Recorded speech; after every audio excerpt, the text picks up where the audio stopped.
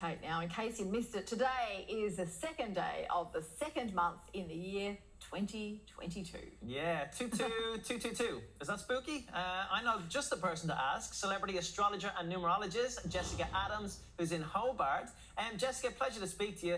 What is the significance of all of these twos? Well, it's about odd couples. So we're going back to the years 2000, 2002. We catch up with the odd couples in 2022, and we're looking at people that you think have absolutely nothing in common, who it turns out really didn't, so they got divorced, or really odd couples who are still together. Oh, so what does this mean for relationships today then? Well, if you're going on a first date, it will be with somebody that your friends are really surprised that you're even dating, even if it's just a Zoom date. And if you're in a marriage and you were an odd couple back in another two dominant year, then just before Valentine's Day, you're going to have one of those conversations. Are you suggesting the, the oh, I, I don't want to. I don't want to know what you're suggesting. Actually, that's kind of a bit scary for all the odd couples out there. Should people be worried?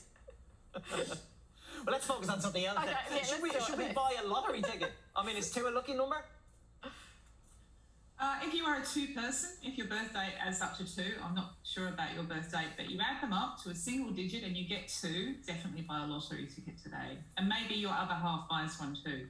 Oh, there we go. Oh, what else should we would, should we be wary of um, today? Uh, I, I, I always just thought two was a lucky number, just straight out. But there's a lot of different nuances. Yeah, it's a funny one. It's good for anything with two in the title. So the last time that we had a two dominant year, we had a Star Wars 2 film and we had a Lord of the Rings 2 Towers film, and they both did really well. But if you're in an odd couple, business partnership, or political partnership, or marriage, and you've not given each other space to be odd together, mm. it's really crunch time. Oh, right. that's key, yeah, that isn't is it? Because yeah, it's the 11 11 I only ever look out for. Yeah. But now, now I'm going to have to look out for the two as so well. So you need the space yeah, to be it. yourself and to be to celebrate your, your I think we all need that now and again anyway, yeah. don't we? We do. Uh, what about babies born today?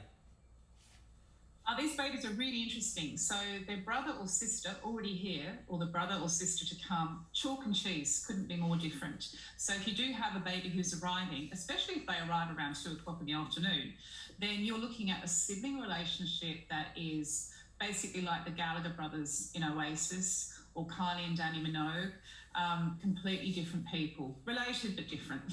oh, and you, just quickly, you did you did uh, raise the election or politics there. What are you what, what are your predictions for the election? Watch Barnaby Joyce. I mean, we all watch Barnaby Joyce anyway, don't we? But he is the key to chaos between the coalition, the Liberal Party, and the Nationals. Um, starting now, going right through March and April, um, we're going to see one of those years in Australian politics when you wonder how did they get into bed together? Mm, yeah. Speaking of odd, thank you very much, Jessica, for joining us. I really appreciated that chat. Thank you. Thank you. Thank you. Maybe a second term. Yeah. Oh. yeah. Now, after.